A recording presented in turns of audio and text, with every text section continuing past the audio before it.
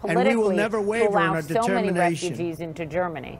I thought that was fascinating. I think you're exactly right, and it was an echo of what the president said during the campaign, where he was, Mm-hmm. you know, openly and deeply critical of, of Merkel's policy on refugees. I think, you know, this these remarks this morning uh, showed that the Gulf is still there. Maybe not uh, Atlantic Ocean size, but this was not a full-scale embrace on either side. Uh, the uh, you could see the effects of kind of the traditional uh, internationalist wing of the Republican Party, Mattis, Tillerson, other voices in Congress, sanding down uh, the sharpest rhetoric from the president during the campaign. He didn't call NATO obsolete, but he did not give it a full bear hug either. I don't, I, you know, I, I don't know if he gave it the full embrace uh, of American commitment that, that, that many there may have been hoping to hear. And there was that pointed criticism, in effect, of uh, EU policy on.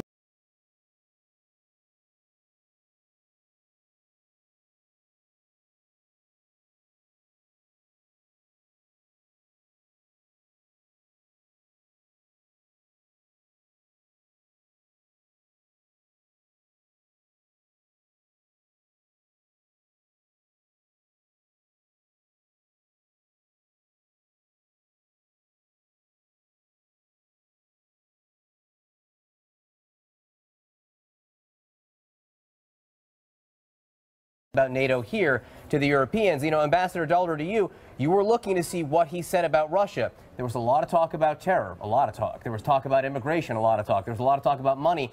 One brief sentence uh, about Russia and, and, the threats from Russia posed uh, to Europe. Did you think that was enough?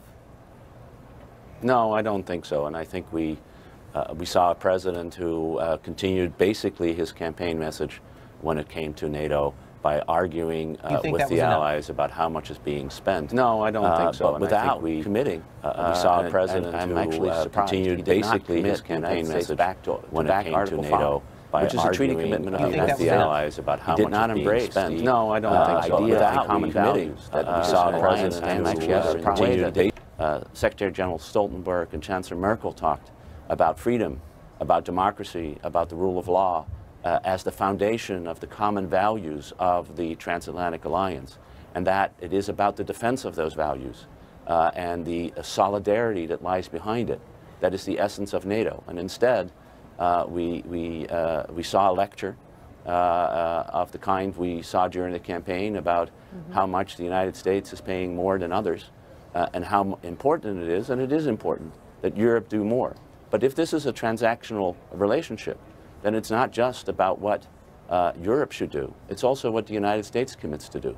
An understanding that the threat to, uh, to Europe is, it comes from Russia uh, today as much, probably more, than it comes from terrorism, and that the United States is prepared as the leader of NATO uh, to be uh, there for the defense of Europe. Nick, he, he did begin, Nick Robertson, I want to bring you in as well, with uh, noting the Manchester attack marking a moment of silence for the victims of that attack, saying to British Prime Minister Theresa May, as you could see him look for her to make eye contact, saying, We grieve with you. But again, it is in the wake of those attacks that Article 5 is so critical, right? In the United States after 9 11, it being invoked. And now you have this rift between the UK and the US right now because of the intelligence leaks surrounding all of that, Nick. Yeah, Theresa May is right in the uh, middle of an election cycle, and her positioning of herself close to President Trump is something that potentially um, it could be part of the campaign issue. We've heard the leader of the opposition in Britain say he won't surrender Britain's security to a President Trump White House. So uh, there was another uh, point that came up, uh, brought up by President Trump there, that is potentially politically damaging, not just to Theresa May, but Angela Merkel as well, resurrecting this idea that NATO needs to be tough on immigration.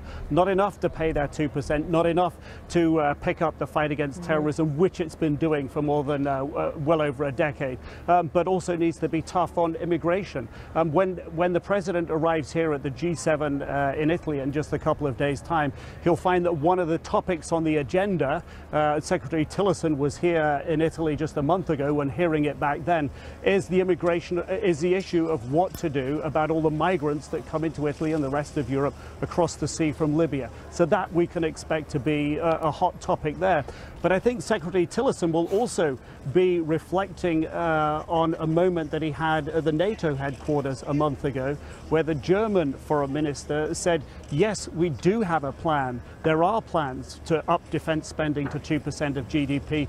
It's mm -hmm. called a budget those, the, the, the, feeling from some European leaders is you cannot turn on a dime and suddenly up defense spending to 2%. Just to add one other thought into the mix here, for the Europeans at the moment, one of their considerations is how do we spend that money when we up it? In Europe writ large, there, there are many manufacturers of tanks, many manufacturers of fighter aircraft, unlike the United States. So they have to consider how and where they spend that money, a more integrated defense procurement spending manufacturing system. And we're getting a look right now of what we call the class photo. This is the leaders of all 28 NATO nations standing at a stage right there. Uh, watch for the body language. Watch to see mm -hmm. who is standing where. I haven't seen President Trump uh, enter and walk on that stage yet, so we're going to keep our eyes on that. While we wait for that, our White House reporter Sarah Murray joins us. And Sarah, you know, Poppy was talking about when you is. see President Trump and the British Prime Minister Theresa May walk in right now. Poppy was talking about the concern over leaks. Great Britain very concerned about this, and we just got a statement from the White House. That's right. Obviously, we know that the British Prime Minister is very concerned about uh, leaks from the U.S. surrounding their investigation into the Manchester incident. So this is the statement that President Trump just put out saying the alleged leaks coming out of government agencies are deeply troubling. These leaks have been going on for a long time, Russia's and my administration will get to the bottom of this. Like the leaks Georgia, of sensitive Vladimir information pose a grave threat to our national Again. security.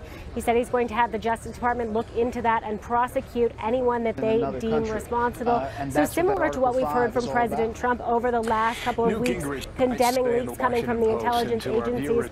It's also worth noting that Prime Minister Theresa May talked about this on her way into the NATO meeting today, talking about how treasured this intelligence sharing relationship is between the U.S. and the UK, but the fact that both sides need to be able to trust each other. Poppy, I mean, I'm sorry, uh, uh, Ambassador Daalder, uh, again, as you actually, oh, sorry, Sarah Murray, then. Uh, I'm getting different messages here. Sarah Murray, to you. The White House, the president just then specifically did not tell the NATO members that we have your back. Mm -hmm. He mm-hmm. specifically did not recommit to Article 5 there. Are you getting a sense from the people there who helped him prepare these remarks if that was a specific message that he intended to send? Well, we did not get a good sense of whether the president would say that himself. We heard his advisors in the run up to this say that they supported Article 5 and they believed that uh, that we are sort of all in this together with the other leaders of NATO. But I do think it was a little bit of slap in the face to some of the other members, and you could see that uh, when President Trump was talking a little bit in their facial expressions as he was continuing to talk about how everyone needs to pay their fair share, but mm -hmm. but never sort of voiced his own commitment to Article 5 or the fact that he would have the back of other uh, members of NATO. Christiane Amanpour, let me just bring you back in here as we look at these pictures. This is quite a moment in this presidency. This is his first international trip. He chooses to go to NATO, an institution that he has uh, been very critical of, especially during the campaign, an institution that he schooled in a sense with his remarks in front of them today. What are your final thoughts as they head into these private meetings? Well, well, just very quickly, I've spoken both to a former, you know, U.S. counterintelligence official and to the current German uh, deputy finance minister, who are all watching this. On the, the the big picture here, they believe, at least this is from the German point of view and the European point of view, that they started so far away from mm. the U.S. administration during the President Trump campaign in the beginning months and days of his election, where he was still being hardline against the EU, uh, talking openly about it, breaking up, anticipating Marine Le Pen winning in France, you know, backing people like Nigel Farage. He was mm -hmm. so, uh, you know, hostile in his in his rhetoric to NATO, as we've just been discussing, that for, from their perspective, they believe mm. that they're putting that behind them and they want to move gradually forward on a more positive note, sort of, sort of a reset. So they think they're pulling him further towards where they want to be, but they know this is not a done deal. They still don't agree on, on things like immigration, on trade, on the climate, on things like that. So it's going to be a hard mm -hmm. pull. And here in Britain, they are furious, furious about the intelligence. All right, Christiane Amanpour, Ron Brownstein, Nick Robertson, thanks so much for being with us. Again, our special coverage of these meetings, historic NATO meetings with a very stern message from the president continues with Brianna Keilar right now.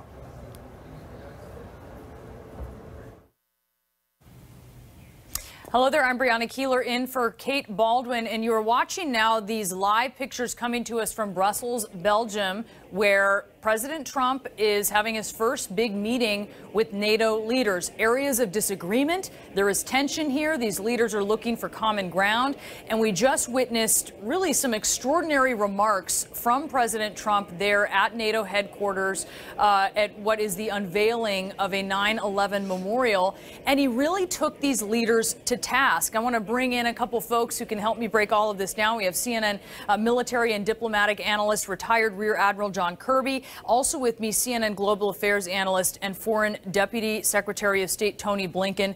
You, I should mention, John, also worked, of course, at the Pentagon and the State Department. So help me talk about, really dissect these comments from President Trump. He was taking these NATO leaders to task, saying that they he said many 23 member nations are not paying what they should be. He was schooling them right in front of them. Yeah, to be clear, this isn't a new message that uh, President Obama made, uh, President Bush before him five secretaries of defense now have made this have, have made this case. But it was extraordinary to me to see him be so bellicose about this and so specific about it in what was supposed to be an opening welcoming uh, ceremony right there at, at the 9/11 memorial. So I think the, the setting was uh, was extraordinary, and the message was uh, perhaps I think much more stronger than the, the, NATO allies would have expected on this particular day. Than all of us expected. And, and, Tony, I think the setting being extraordinary, as John mentioned, it was in front of a or near a twisted piece of metal from the World Trade Center, this 9 11 memorial.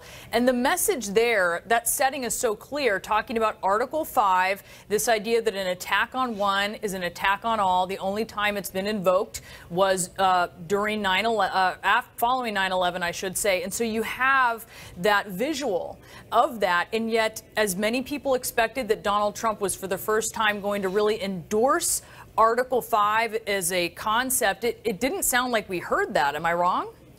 I didn't hear it. And in fact, I think our allies heard what they didn't want to hear and didn't hear what they wanted to hear.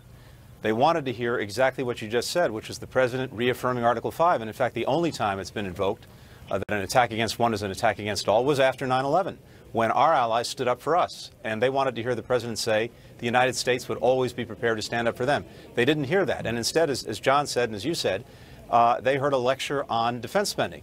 Now, the truth of the matter is this. Uh, that spending has been starting to go up since the Wales summit in 2014 under President Obama.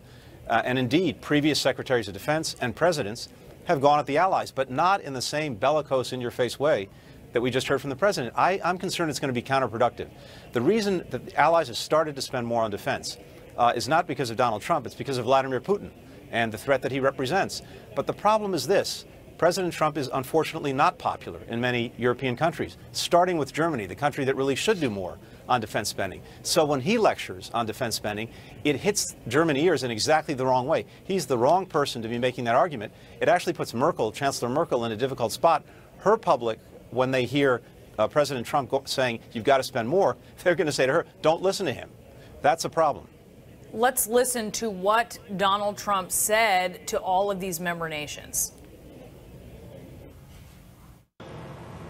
These grave security concerns are the same reason that I have been very, very direct with Secretary Stoltenberg and members of the alliance in saying that NATO members must finally contribute their fair share and meet their financial obligations. But 23 of the 28 member nations are still not paying what they should be paying and what they are supposed to be paying for their defense.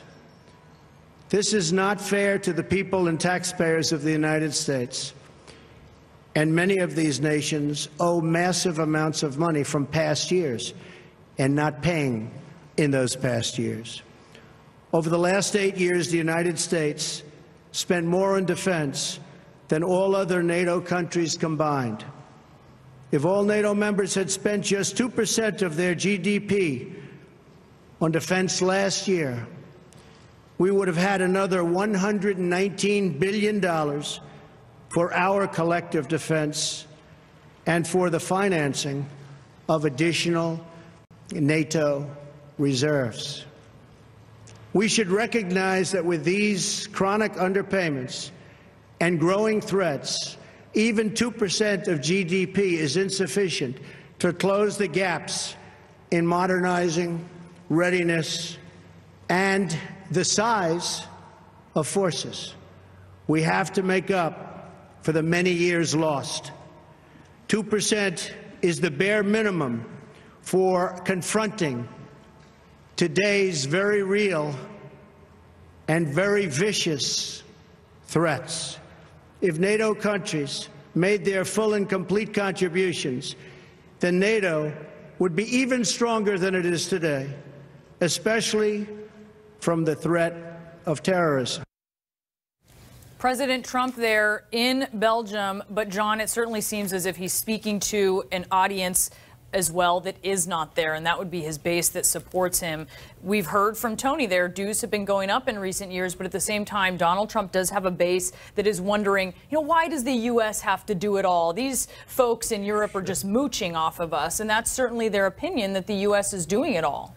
Yeah, look, I mean, this will appeal to people that uh, voted for Donald Trump. There's no question about that. Uh, but what I think people are missing is that the United States has special global leadership responsibilities. Yes, we're a member of NATO. Yes, there's 27 other countries, uh, but not all of them can be expected to contribute in the same way we can, or we should, quite frankly. The United States has special convening power and facilitation power. We, we have other global responsibilities outside NATO that many of those nations really don't have to worry about. So there's a lot that goes into this picture. Um, and, you know, when he talks about underpayments, it's important for people to understand you don't pay dues to NATO. What he's talking about here are their national decisions about defense spending on their own. And they Their all agree. commitments to right. defense. And they agreed back in Warsaw a few years ago for 2%. They recommitted in Wales, as uh, Mr. Blinken mentioned. That's what we're talking about, not, not payments of dues. A really extraordinary day here as the president is in Belgium. One of the areas of contention with one of these uh, member nations is. Uh, we've heard that Theresa May of Britain was going to be confronting the president about leaks, information that had been shared from the UK with the US when it came to this bombing in Manchester. And now Sarah Murray uh, uh, joining us. She's on this trip with the president. A statement coming out from the administration, from the president, about their reaction to this information. Uh, being published in the U.S., confirmed by U.S. officials before British officials ever wanted it out there. What can you tell us? That's right. Well, we're, we're still waiting to see when President Trump and Theresa May might meet privately to discuss this. But as you pointed out, there has been a lot of concern from the UK government that information surrounding this investigation uh, into the Manchester attack uh, seems to be coming out, uh, being leaked from U.S. intelligence. So the president put out a statement today addressing that issue. It says, in part, the alleged leaks coming out of government agencies are deeply troubling. These leaks have been going on for a long time, and my administration will get to the bottom of this. The leaks of sensitive information pose a grave threat to our national security. And we also pointed out that he was going to press the Justice Department to look into where these leaks are coming from.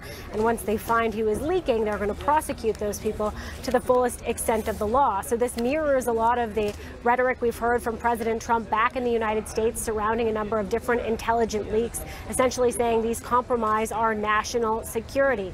Now, as for the Prime Minister, Theresa May addressed reporters on her way in to the NATO summit as well, and she reaffirmed the special nature of this intelligence sharing relationship between the United States and the UK, but said it really hinges on both sides being able to fully trust one another. Brianna.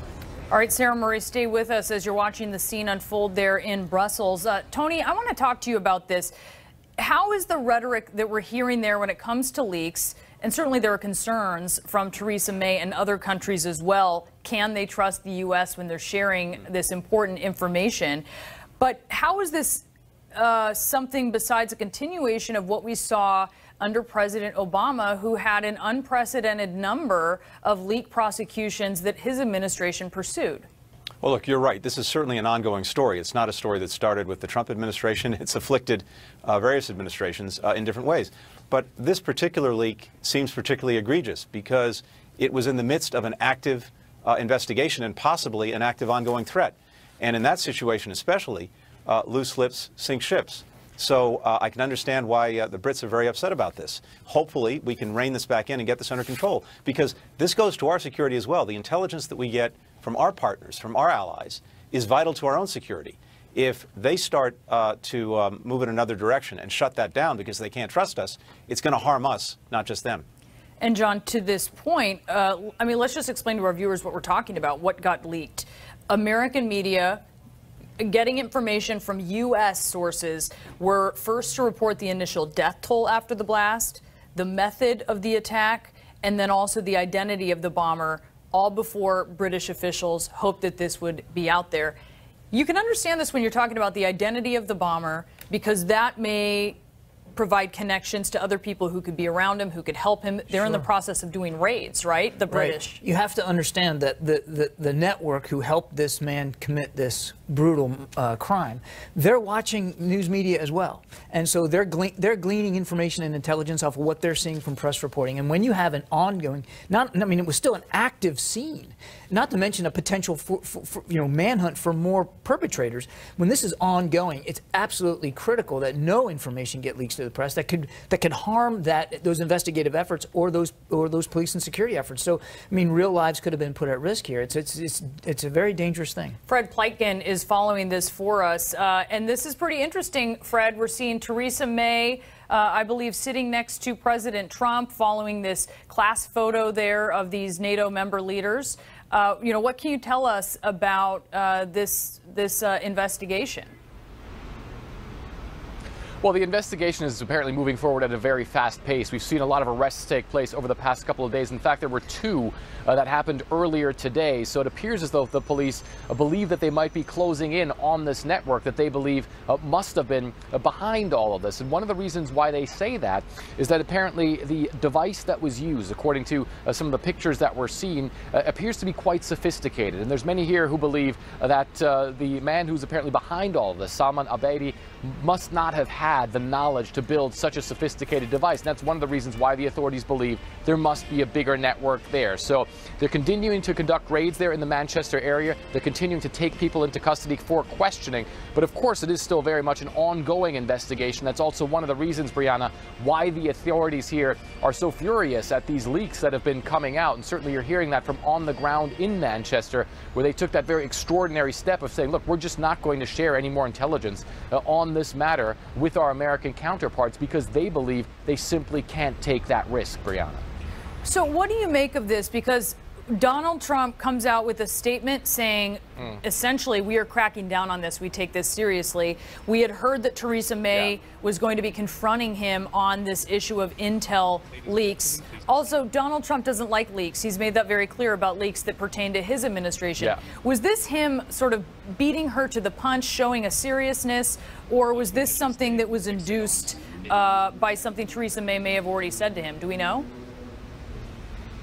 Well, we know that they've already spoken. We know that Theresa May said that she already was on the phone with President Trump and told him that she believes that something like this can't happen and that the mutual trust uh, between these two countries certainly needs to continue to be uh, in place and needs to be restored to a certain point uh, as well. So certainly it might have been uh, him trying to conduct some damage control and saying, look, we're trying to do something about this. We're trying to stop this. It's unclear uh, how uh, Ms. May is going to react to all of this. But in the end, it seems as though at least the authorities there in Manchester for the time being, have made their decision and said, look, we're just not going to share uh, any more intel uh, with our colleagues in the United States on this simply because of what's happened so far already. And it's something that they take very seriously because this is a very, very important investigation that's going on. It could be a life or death matter uh, in certain instances if, in fact, there still is an active cell here in this country uh, that has the knowledge and has in the past already been able to manufacture bombs that kill a lot of people. So right now they are uh, investigating at a very high pace, and the last thing that they need is for their investigation to be hampered by leaks that are coming out, and it's something that they've made very clear, and something where they say that uh, in order to conduct this investigation without any more pitfalls, they need to just stop this information from flowing. So it is a very, very big step, and it's going to be very, very interesting to see uh, how these meetings uh, between Theresa May uh, and President Trump are going to uh, turn out, and what exactly the wording there is going to be afterwards. Tony, I wonder, do you think that this is smart diplomacy and also that this may actually have the effect of chilling some of the leaks? Is this a smart move on the part of the Trump administration as they say they're going to really address this? Yeah, no, the president did the right thing in putting out that statement and putting out a strong statement, making it clear uh, that uh, he was going to try to do something about this, sending a very strong message to our own uh, bureaucracy, his own bureaucracy, uh, that this needs to stop. So it was the right thing to do. And whether it was getting out of ahead of uh, Prime Minister May or not, um, I'm not sure, but it was the right message at the right time. But we have a lot of trust to build back, and um, that's not going to happen in the matter of a day or with one statement. I saw you uh, nodding your head as you listened to Fred's report there yeah. about the leaks. It just, it, I think it's important to, to realize how extraordinary this is. It's, it's the UK. It's our closest ally, uh, a, a, nation that has been at our side uh, repeatedly over so many decades on so like many issues. This is like a constant cousin, right? Yeah, if we're I mean, putting this, it in terms, this is someone who has your back. Yeah, and for the UK to say, you know what, on this particular issue, we're not sharing with you anymore. That is significant. I, I agree with, with, with Tony too. The, the president had no choice; he had to react this strongly, and, and he was it was good that he did that, and it, it should be investigated and prosecuted. But let's not forget how significant this is coming from the UK. If they're not sharing information, John, just let's let's talk not necessarily just about this terror attack, but other ones uh, as well. And obviously the, the not sharing is happening just with this investigation. Right. But when you're looking at other things, there are tentacles that stretch from Britain to the U.S. This is a very important uh, avenue of uh, information and communication, right? Absolutely. I mean, the, the, the UK, again, not just one of our closest allies, but one of our best intelligence relationships in the world. Uh, and so hopefully this won't bleed over into any other thing. And I can't imagine that the UK, having knowledge of anything that might affect our security, would, would withhold it from us. But this is an extraordinary step by them that I think we need to take seriously. I, talked to a friend in the intelligence community yesterday, and uh, he said he hasn't seen any chilling effect yet in, in other nations about in, intelligence sharing, particularly in the wake of the Oval Office meeting with Kislyak and Lavrov. But he said they, the uh, intelligence agencies around the world are very interested in the relationship between our White House and our intelligence community. That's where they're that's the barometer they're really looking at. That's very interesting. John, Tony, Sarah, Fred, stand by for me uh, for just a moment here. In a little while here, the most powerful Republican in the House is set to uh, address the charges against the re Republican who is looking to join his ranks. The candidate in Montana accused of assaulting a reporter, charged, I should say, with assaulting a reporter, body slamming him to the ground, punching him as well. This is voters are making their choices at the polls right now. Stand by for that.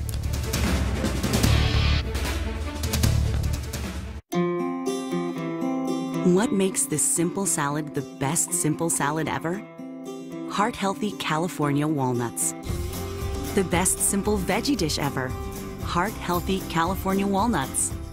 The best simple dinner ever? Heart healthy California walnuts. Great tasting, heart healthy California walnuts. So simple. Get the recipes at walnuts.org.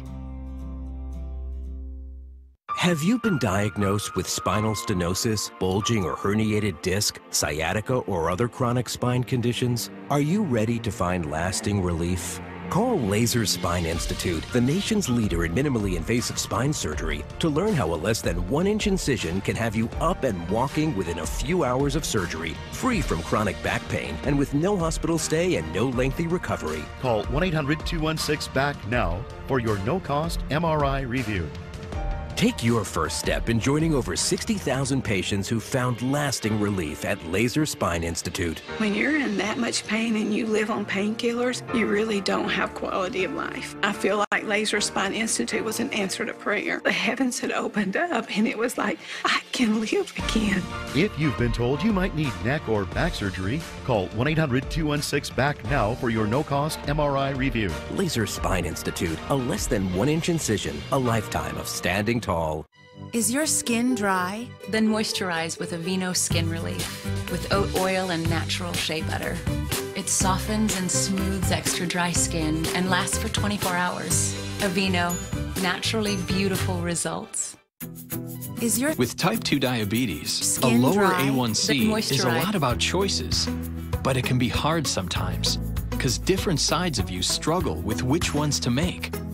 Well, what if you kept making good ones? Then is with you Aveeno could love Relief your numbers. with oat oil and natural Discover shea butter. once daily It Invokana, a pill used along with diet and and exercise lasts for to significantly hours. lower blood Aveeno, sugar in adults with type 2 diabetes. results. It's proven to lower A1C With type 2 diabetes. Januvia, a lower dry, A1C works around moisturize. a lot about choices. By sending some sugar but it out can of be your hard body through the sometimes. process of urination. Because different It's sides not of for you lowering struggle systolic with which blood ones to pressure make or weight loss. But well, it may help what if you kept making good ones? Invokana may cause dehydration. You Aveeno could love your numbers, could make you oat feel dizzy or discover once daily Invokana. So be sure to drink smooths enough extra water, dry diet, and exercise. lasts for To 24 important side effects to know. Aveeno, Children and adults with type 2 naturally diabetes, genital yeast infections, it's proven Changes in urinary type 2 or diabetes, potentially serious serious urinary tract works around sending some sugar but it out of your body in cholesterol or of urination. potential. Different Keto sides acid of struggle systolic with blood women, pressure, which can be life-threatening. Stop taking Invokana and call your doctor right away if you experience symptoms. Or if you have an allergic reaction with signs like rash, swelling, or difficulty breathing or swallowing. Do not take if you have severe liver or kidney problems or are on dialysis. Taking with a sulfonylurea or insulin may cause low blood sugar. The choice is yours. Lower your blood sugar with Invokana. Imagine loving your numbers. There's only one Invokana. Ask your doctor about it by name. Closed captioning brought to you by Mezzobook.com. We offer a free book on mesothelioma. Call for the free book and receive so much more. Call 1 800 831 3700. It's election day actually today. Right now, polls are open for a special election in Montana, which has made its way into the national spotlight this morning after the Republican candidate running for a seat in Congress was charged with assault for allegedly body slamming a reporter. Republican candidate Greg Gianforte held uh, off taking a stance on the GOP health care bill, uh, waiting for the Congressional Budget Office score, that price tag, to come out. And then it did. And a reporter from The Guardian, Ben Jacobs, tried to press Gianforte. Not even press so much as just simply ask a question for his stance on this now that the CBO has released that price tag. And the audio really speaks for itself. Here's what happened. into the CBO score because you know you were waiting to make your decision about healthcare until you saw the bill and it just came out. And what Yeah, you and thought we'll about talk to you about that later. Yeah, but there's not going to be time. I'm just curious if you Okay, have the speak right with now. Shane, please. But you don't. sick and tired of you guys. The last time that came here, you did the same thing. Get the hell out of here. Get the hell out of here. The last guy did the same thing. You were the guardian. Yes, and you just broke my glasses. You, the last guy did the same damn thing. You just body slammed me and broke my glasses. Get the hell out of here. You'd like me to get the hell out of here, I'd also like to call the police. Can I get you guys' names? Hey, you gotta leave. He just body slammed me. You gotta leave. Well, Greg Gianforte was charged overnight with misdemeanor assault. I want to go now to CNN senior media and politics reporter Dylan Byers. I mean, Dylan, you read what happens here, but when you hear that audio, that's when you can see just how quickly this escalated and the appearance that this candidate just really snapped. Yeah, absolutely right. And, uh, you know, it speaks to the importance of actually having some documentation about these things before you even get to the aggressive Uh, and somewhat troubling nature of the violence. Let's just talk here for a second about the ineptitude of Gianforte's campaign. You're in the room, there are other witnesses in the room, there's a reporter in the room who's holding a recorder to your face. You then, the candidate then allegedly body slams him. And what do you do? The campaign comes out with a statement uh, basically describing an alternate reality, an alternate version of events that uh, has no relationship whatsoever to what was on the audio recording or to what other people witnessed. What they said, and I'll just read you part of it here, is that uh, uh the reporter was aggressive, he was badgering them with questions, uh, and that the candidate asked the reporter to lower his recorder and he declined, asked him to leave the room. None of that happened. None of that was in the audio. They put out this statement anyway.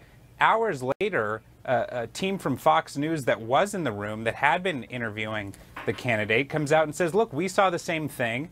Uh, uh, Gianforte grabbed the reporter by the neck with both hands, slammed him to the ground. At no point did the reporter, Ben Jacobs, uh, uh do anything uh, at all that was aggressive or, or badgering towards the candidate. So, look, it, the, the, violence uh, alone, uh, you can argue, would make uh, Gianforte disqualified from this race. But certainly the sort of ineptitude and this idea that they could somehow skate by on this on the belief that they were just 24 hours away from the vote uh, seems to me it's just baffling.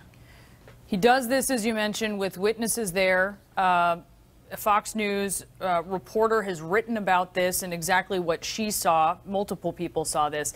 I want to listen to what Ben Jacobs himself said on CNN's New Day today about what happened.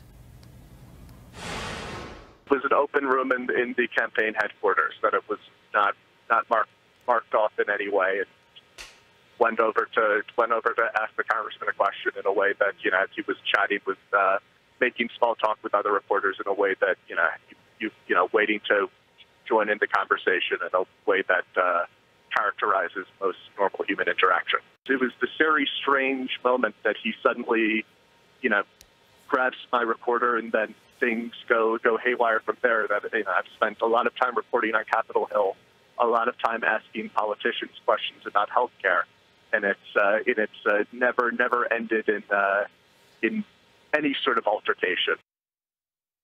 Now the question, it seems, Dylan, is how bad uh, is this going to be for this candidate? We've heard at least anecdotal reports that some people who are among the third of Montanans who have cast their ballots, or, or a, third of, of the folks in this particular election who have cast their ballots, are wanting to change their vote. But maybe some people, and I've heard this certainly on Twitter, are going to back up this candidate and be glad he did this. That's true. You, you know, it, would be foolish to sort of try and, and, and, make assumptions here about exactly what's going to happen. Uh, our colleague Kyung Lah has reported uh, that uh, there are some requests to see if people can change their early ballots. Uh, unfortunately, it doesn't look like that's something that they're allowed uh, to do under Montana state law. But, but again, the fact that this happened does not necessarily mean that all of a sudden Montana is going to swing in favor of Gianforte's uh, opponent, the Democrat.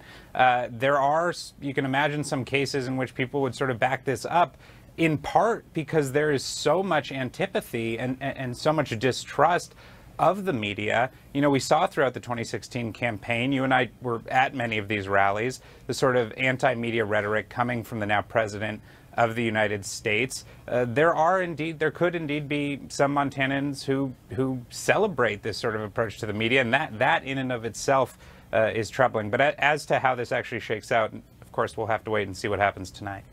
All right, Dylan Byers, thank you so much for that report. Uh, and let's talk next about what the most powerful Republican in the House is going to say about this. We are expected that we will find out from Speaker Paul Ryan. We're just moments away from that. Why weigh yourself down?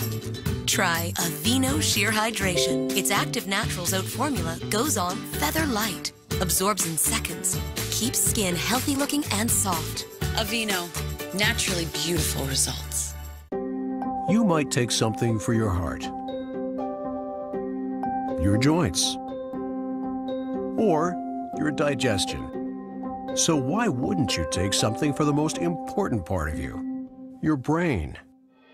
With an ingredient originally found in jellyfish, Prevagen is now the number one selling brain health supplement in drugstores nationwide. Prevagen, the name to remember. Attention Medicare beneficiaries. Many people with Medicare may be able to get extra benefits and don't even know they're available. You may be able to get dental, vision, hearing, and prescription drug coverage included in your plan. The Medicare Coverage Helpline is accepting calls to see if you're eligible to enroll now. You may be able to get extra benefits, including dental, vision, and prescription drug coverage. Hi, I'm Dr. Jason Buckwald. Making sure you go to the doctor and taking all your medications as prescribed can help protect your health. To make it easier, you may now be able to enroll in a Medicare Advantage plan that includes coverage for dental, vision, and prescription drugs. Help protect your health by choosing the right plan for you and get all the benefits you deserve. Call to see if you may be able to get extra benefits, including dental, vision, and prescription coverage. Don't delay. Call to see if you're eligible to enroll and may be able to get extra benefits now.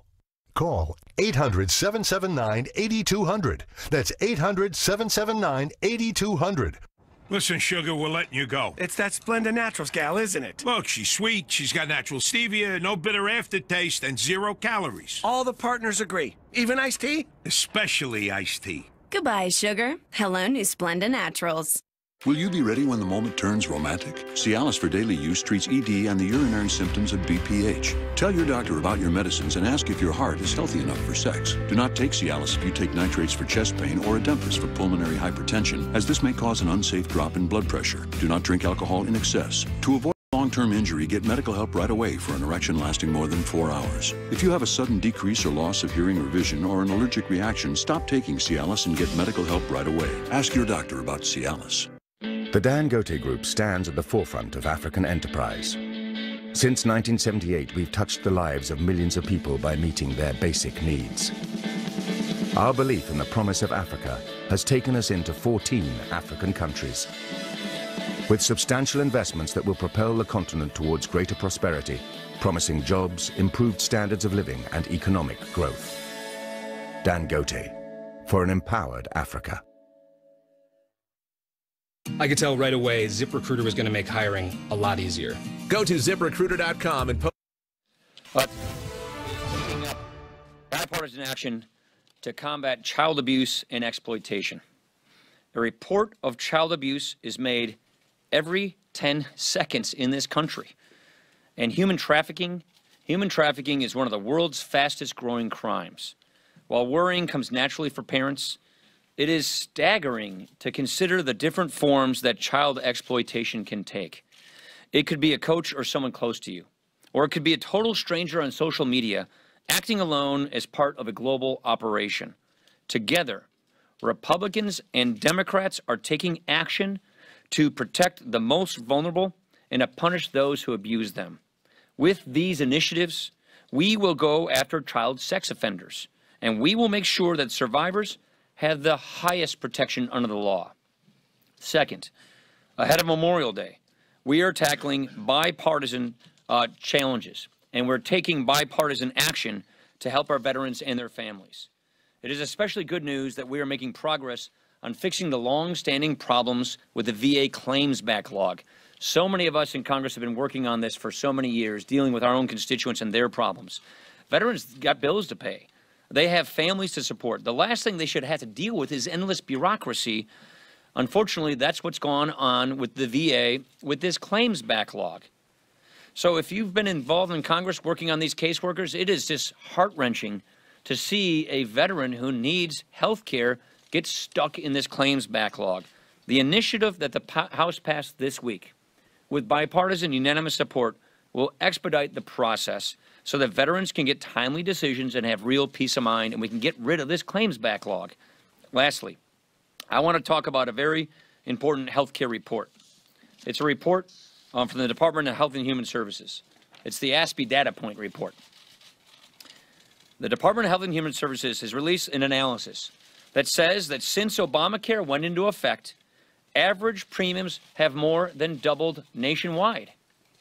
Since Obamacare went into effect, average health care premiums have doubled nationwide. Remember, remember when President Obama promised that his health care plan would lower the typical family's premiums by up to $2,500?